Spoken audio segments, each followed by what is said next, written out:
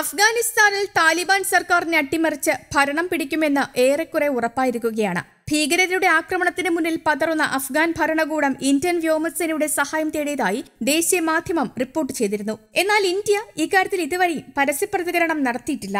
അഫ്ഗാനിസ്ഥാൻ സഹായം തേടിയതിന്റെ അടിസ്ഥാനത്തിൽ ഇന്ത്യ ഉടൻ ഇരുപതിനായിരം സൈനികരെ കാബൂളിലേക്ക് അയക്കണമെന്ന് B J P M P Subramanian Swamy Narendra Modi സർക്കാരിനോട് ആവശ്യപ്പെട്ടു. കാബൂളിലേക്ക് ഇന്ത്യ ഇരുപതിനായിരം സൈനികരെ അയക്കുകയും അവിടെയുള്ള ഹിന്ദുക്കൾക്കും സിഖുകാർക്കും അഭയം നൽകുകയും വേണമെന്നാണ് സ്വാമി ട്വിറ്ററിലൂടെ ആവശ്യപ്പെട്ടത്. നരേന്ദ്രമോദി സർക്കാർ അഫ്ഗാനിസ്ഥാനിലെ സംഘർഷം കൈകാര്യം ചെയ്യുന്നതിനെ സുബ്രഹ്മണ്യൻ സ്വാമി നേരത്തെ വിമർശിച്ചിരുന്നു. കാബൂളിലെ സ്ഫോടനമുണ്ടായപ്പോൾ അക്കാര്യം യു എൻ സുരക്ഷാ കൌൺസിലിൽ അടിയന്തര ചർച്ച നടത്തണമായിരുന്നുവെന്നും ഈ മാസം യു എൻ സുരക്ഷാ കൌൺസിലിന്റെ ചെയർപേഴ്സൺ സ്ഥാനം ഇന്ത്യ വഹിക്കുന്നത് അവസരമാക്കണമെന്നും അദ്ദേഹം ഓർമ്മിപ്പിച്ചു. അതേസമയം താലിബാൻ അഫ്ഗാനിസ്ഥാനിൽ പിടിമുറുക്കുമ്പോൾ സ്വന്തം പൌരന്മാരെ സുരക്ഷിതമായി രാജ്യത്ത് തിരികെ എത്തിക്കുന്ന പ്രവർത്തനങ്ങളാണ് മോദി സർക്കാർ ഇപ്പോൾ പ്രാധാന്യം നൽകിയിരിക്കുന്നത്. അഫ്ഗാനിസ്ഥാനിലെ ഇന്ത്യൻ പൌരന്മാർക്ക് തിരികെ എത്താനുള്ള സന്ദേശമാണ് വിദേശകാര്യ മന്ത്രാലയം നൽകുന്നത് വിമാനങ്ങൾ സർവീസുകൾ നിർത്തലാക്കുന്നതിന് മുൻപ് ഇന്ത്യയിലേക്ക് മടങ്ങാൻ പൌരന്മാർക്ക് നിർദ്ദേശം നൽകി. ജോലിസ്ഥലങ്ങളിൽ നിന്ന് ഇന്ത്യൻ ജീവനക്കാരെ ഉടൻ പിൻവലിക്കാൻ അഫ്ഗാനിസ്ഥാനിലെ എല്ലാ ഇന്ത്യൻ കമ്പനികളോടും ആവശ്യപ്പെട്ടിട്ടുണ്ട്. കഴിഞ്ഞ ചൊവ്വാഴ്ച അഫ്ഗാനിസ്ഥാനിലെ മസർ ഇ ഷെരീഫിൽ യുദ്ധം രൂക്ഷമായതിനാൽ അടിയന്തര വിമാനത്തിലൂടെ ഒഴിയാൻ നഗരത്തിലെ പൌരന്മാർക്ക് എംബസി മുഖാന്തരം അറിയിപ്പ് നൽകിയിരുന്നു.